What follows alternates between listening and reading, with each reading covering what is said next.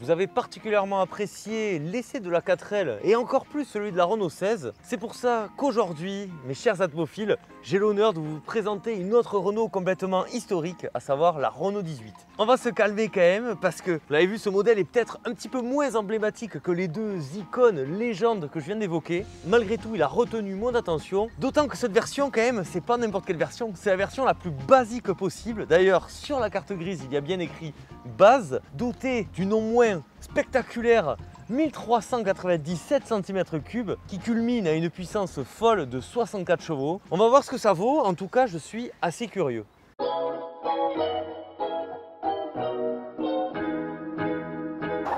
Le freinage n'est pas précis et marque une tendance certaine à plonger, comme toutes les R18 d'ailleurs. Premier essai. Attention, deuxième essai, plus lentement, et toujours le même phénomène. Renault et les berlines de catégorie moyenne, c'est une longue histoire d'amour qui ne date pas d'hier. On va revenir quelques années avant encore cette R18 Type 2, au milieu des années 50, où la Renault Dauphine fut présentée et ce fut directement un véritable carton. Entre 1957 et 1961, d'ailleurs, elle sera le véhicule le plus vendu en France, excusez du peu. Elle fut également la première voiture européenne assemblée en Argentine. Pour la succéder, il fallait du lourd, et bien ça tombe bien parce que c'est la non moins célèbre Renault 8 qui arrivera suite à cette Dauphine. Et là aussi, c'est un succès monumental. Quelle sacrée voiture Beaucoup de passionnés s'en rappellent notamment grâce à la version Gordini.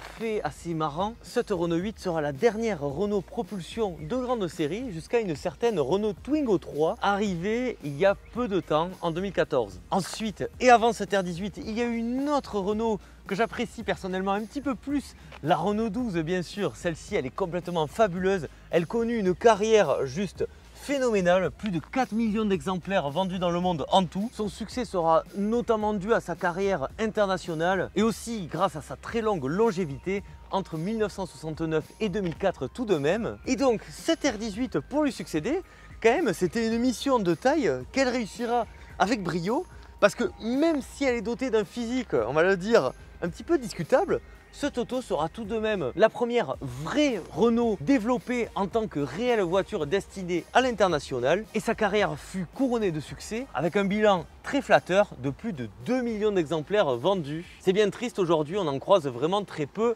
sur nos routes. Le design de cette R18, faut bien s'y coller. Alors c'est parti. Le premier point qu'on a noté, c'est que ce capot est relativement euh, ben, plat. Normalement, un capot, même sur des voitures de cette époque ou un petit peu après, il y a toujours eu du relief je prends par exemple, euh, je sais pas, même ce capot là, ben, vous voyez, c'est un petit peu bombé. Il y a des courbes, il y a des galbes, un minimum, ne serait-ce que des traits.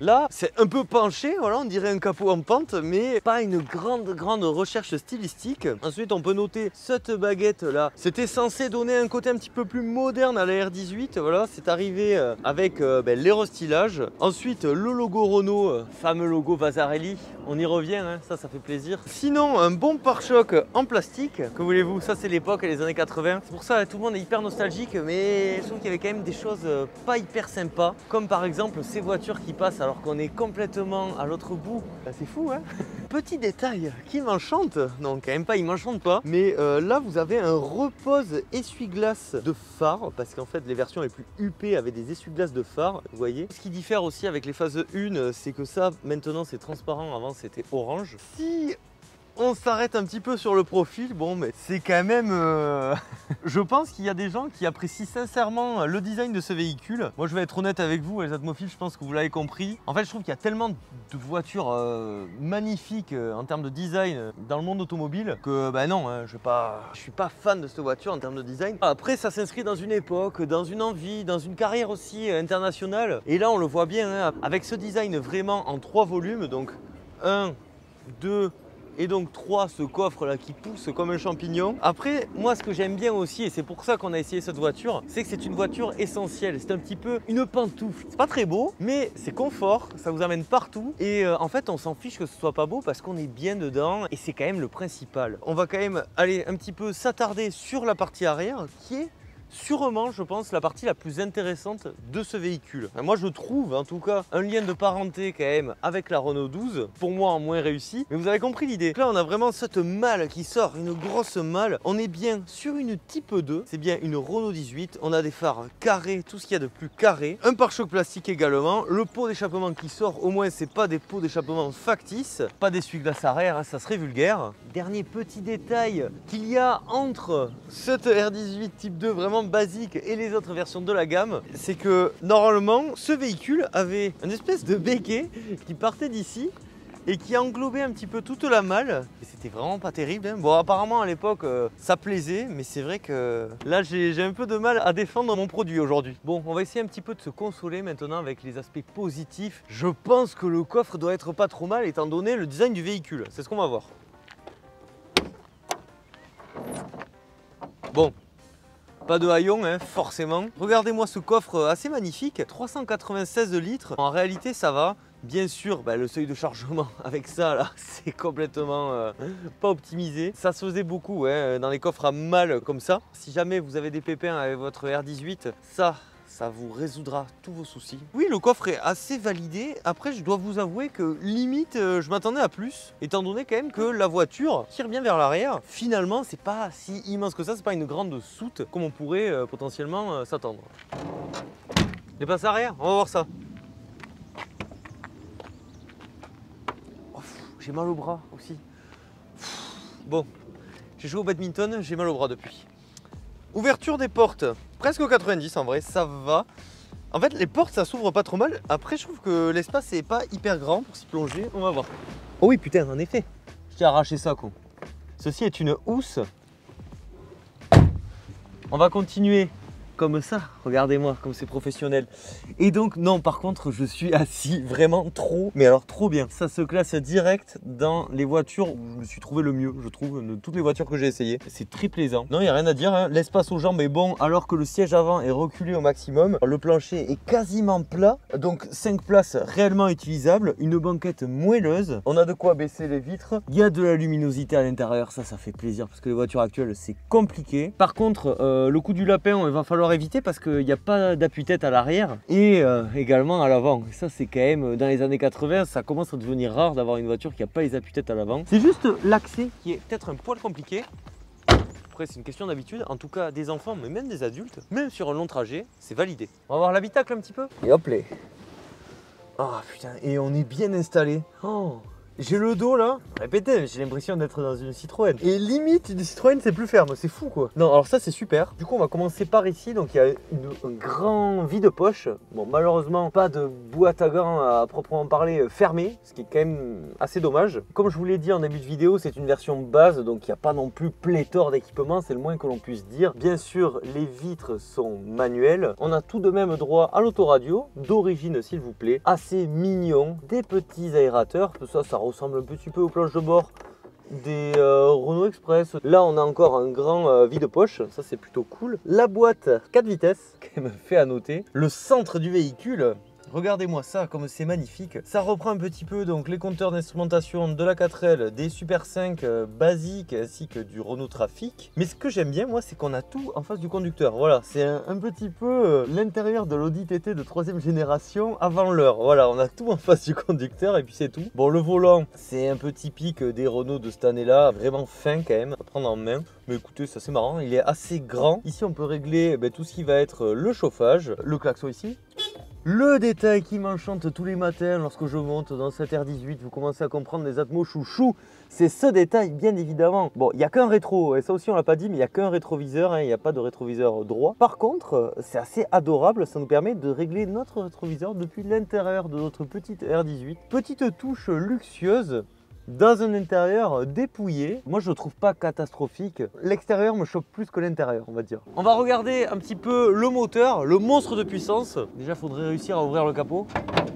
Ah, putain, et c'est pas léger non plus. Ça, c'est les bons capots à l'ancienne. Bah voilà. Alors, qu'est-ce qu'on retrouve? Bah déjà, ce qu'on peut dire, c'est qu'il y a de la place. Il y a quand même de la place pour mettre plus gros. hein. Là, forcément, on est sur un moteur euh, plutôt entrée de gamme. hein. 1397 cm3, 64 chevaux. C'est le merveilleux, le fameux Cléon Fonte Et cet avion nous casse les couilles aussi. On peut se dire 64 chevaux, ça va pas forcément bien marcher. Ben détrompez-vous, avec à peine 900 kg sur la balance, ben, finalement le rapport poids-puissance n'est pas si dégueu que ça. En termes de performance, c'est pas non plus complètement fabuleux. Hein. La Vmax est à 152 km/h. Le 0 à 100 est tombé en 16 secondes 7. Après, comme je vous ai dit, là c'est plutôt une version entrée de gamme.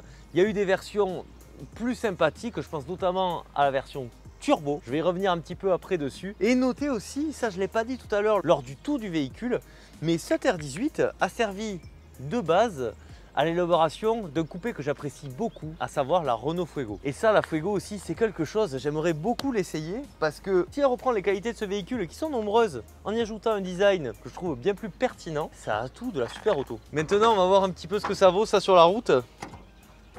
J'espère qu'elle n'est pas avare en sensation.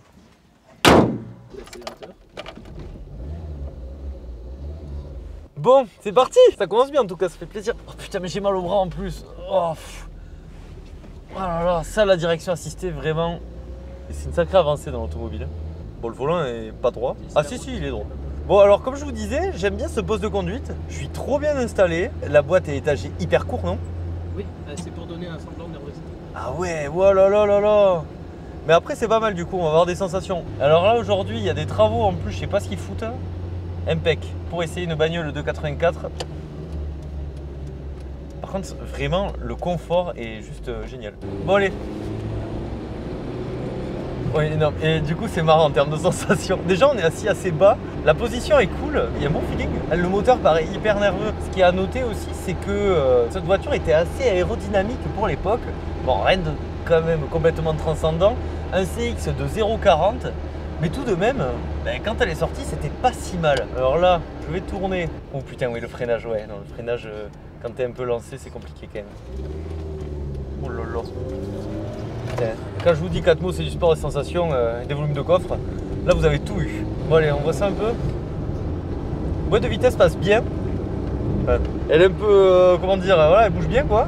Écoute, ça fait le boulot. Par contre, c'est vrai que j'aime beaucoup les sensations. En fait, c'est un peu marrant. Parce que j'ai pas l'impression de conduire une voiture si vieille que ça, entre guillemets. Parce que bah, déjà la de vitesse au plancher, les rapports passent bien. Je sais pas, elle a un feeling euh, relativement moderne malgré son âge. Après, euh, voilà, faut pas s'y tromper non plus. Hein. Le freinage euh, un peu compliqué, c'est une boîte 4. Donc là, si vous voulez, on est à 70, c'est très bien. Mais il y a une sensation de vitesse aussi, j'ai l'impression d'être à 200. Je tente un peu de la pousser, mais vous comprendrez bien que c'est pas le but. Sans chercher forcément quelque chose de sportif, au moins on a des sensations.